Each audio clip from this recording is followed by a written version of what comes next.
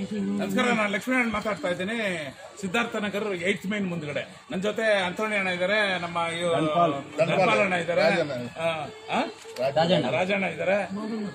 ಬಾಬು. ಬಾಬಣ್ಣ ಇದ್ದಾರೆ ಹಾಗೂ ಮಗೇಶ್. ಅಣ್ಣ ಇದ್ದಾರೆ ಆ, ಕಲೀಲ್ ಅಣ್ಣ ಇದ್ದಾರೆ ಆ, ಹಾ ಮುರುಗಣ್ಣ ಇದ್ದಾರೆ ಎಲ್ಲರೂ ಇದ್ದಾರೆ ಇದರ ಗಣೇಶ್. ನೋಡಿ ನಾವು ಇದು ಈ ಇದು ಮಿಲ್ಟ್ರಿಯಿಂದ ಬರ್ತಕ್ಕಂಥ ನೀರು ಎಲ್ಲ ರೈನ್ ವಾಟರ್ ಹಾರ್ವೆಸ್ಟಿಂಗ್ ಪಾಯಿಂಟ್ ಮಾಡಿದ್ವಿ.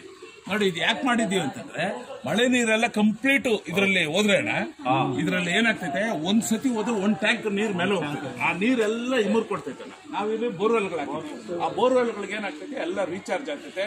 ಇಲ್ಲಿ ನೀರು ಇಲ್ಲೇ ಇರಲಿ ಅಂತ ಹೇಳಿ ಈ ಕಾನ್ಸೆಪ್ಟ್ ಮೇಲೆ ರೈನ್ ವಾಟರ್ ಹಾರ್ವೆಸ್ಟಿಂಗ್ ಮಾಡಿದೀವಿ ನೀವೆಲ್ಲ ನಾನು ಸಪೋರ್ಟ್ ಕೊಟ್ಟಿರೋದ್ರಿಂದ ನೀವೆಲ್ಲ ನನಗೆ ಬಲಗೈಯಾಗಿ ನಿಂತಿರೋದ್ರಿಂದ ಈ ರೋಡು ಇದು ಕಾಂಕ್ರೀಟ್ ಆಗ್ತಾ ಇದೆಯಣ್ಣ ಒಳ್ಳೆ ಬ್ಯೂಟಿಫುಲ್ ರೋಡ್ ಮಾಡ್ತೇನೆ. ನಿಮ್ಮ ರೋಡು ನಿಮ್ಮ ಜವಾಬ್ದಾರಿ.